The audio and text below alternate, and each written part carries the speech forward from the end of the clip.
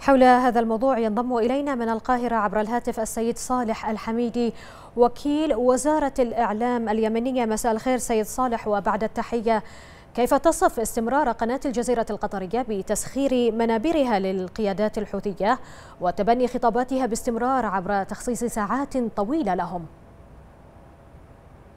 تغطية الجزيرة هي نتاج طبيعي لسياسات قائمة على معاداة الدول العربية بشكل عام. وتشويهها ومحاولة إثارة هواجس المواطنين ضد حكوماتهم وضد شعوبهم. لذلك لا غرابة أن تكون هذه القناة التي تعد الذراع الإعلامي للتنظيمات الإرهابية هي البوق الذي يستخدمه الحوثيين. نحن لا ندين هذا التصرف الذي يعني حتى يتنافى مع الإخلاق ويتنافى مع المواثيق الدولية.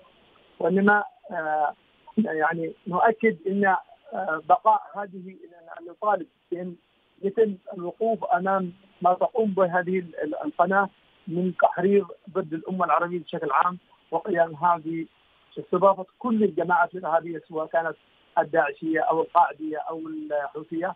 من خلال هذه القناة التي تروج بشكل فاضح وشكل غير مهني ل ما يحصل في الوطن العربي من جرائم بانها شيء طبيعي جدا. نحن في اليمن دولة وشعبا ندين مثل هذه الأعمال التي تقوم بها قناة الجزيرة ونؤكد بأننا في طريقنا إلى يعني تجميع عدد كبير جدا لرفع دعوة ضد هذه القناة التي تسعى إلى تسييس اليمن.